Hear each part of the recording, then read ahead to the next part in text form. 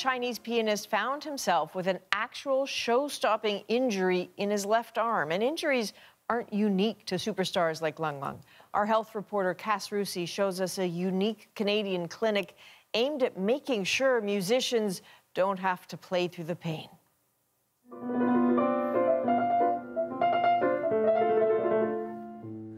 Renowned classical pianist Lang Lang was in rehearsals last week, preparing for a special performance at the Toronto Symphony Orchestra.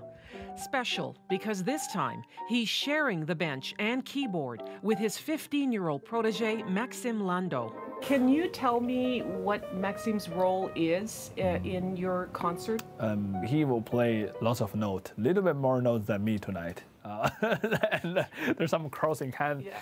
uh, things, passages it will be Maxime.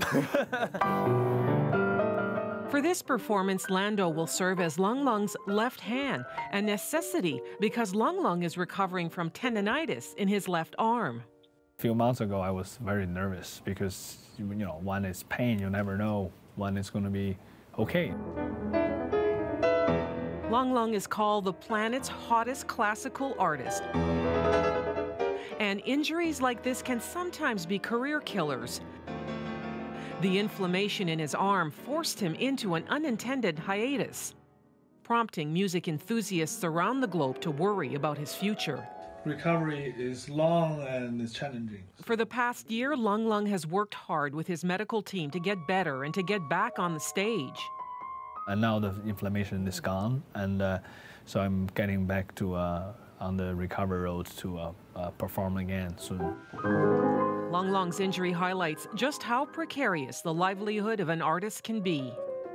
Study after study shows how chronic pain and disabling injuries to the neck, arms, and back can take a toll on a musician's body.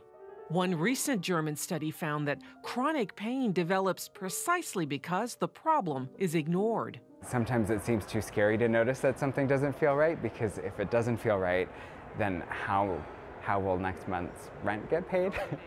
Dr. Chase McMurrin runs this one of a kind hospital clinic in Canada, exclusively aimed at the artistic community. It looks like an average medical center, but a piano in one room and a picture of the bard in another hint at a space tailored for artists. This feels great right now.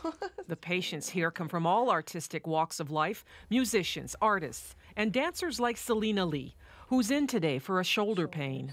You know, nightly rehearsals, and I also teach, so I'm constantly moving around and using my arms and in heels all the time. Dr. McMurrin says just like high performance athletes, artists too use their bodies to achieve excellence in their craft. Their bodies do take a beating after endless hours of rehearsing and performing. So, just like a sports medicine clinic, McMurrin believes that artists too should be able to access specialized care. For musicians in particular, but, but artists in general, um, th there's a huge layer of, of mental anguish and anxiety associated with the whole thing because their, their performance is so contingent on their body doing what they need it to do. Steve Thomas credits the clinic with saving his career as a drummer. A few years ago, during a performance, a mysterious sensation overtook his body. Between my spine and there's like there was a line that kept burning and burning and burning. Literally, when I was playing, I was actually shaking, and I thought I was developing Parkinson's disease. Really? Yep. Yeah, and I because I didn't know. Thomas finally found out a few months ago what was causing him so much agony. A doctor told him it was dystonia, a neurological disorder provoked by years of repetitive movements. I said, What's that? He said, Your learn, brain learns bad habits. Often repetitive practice, like something like drumming for long periods of time, can kind of change the, the communication network, basically, of the nervous system and then cause a regular movement. For that reason, Steve Thomas has become more aware of his body. Physio with relaxation techniques have helped. He's also changed the way he holds his drumsticks. One, two, three. Last night, Thomas and his bandmates played a gig at a local bar in Toronto. Returning to the stage, this time with confidence and pain-free. Kas Roussy, CBC News, Toronto. The Artists' Health Centre at Toronto Western Hospital gets more than 600 patients a year. And it's not just for physical injuries. The clinic plans to expand operations to provide better mental health programs for artists.